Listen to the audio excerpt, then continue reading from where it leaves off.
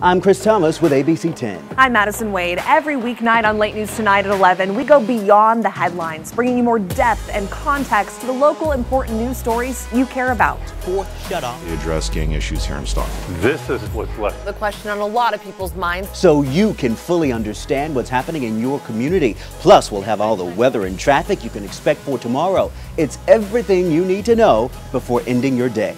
We'll see you tonight at 11, right here on ABC 10.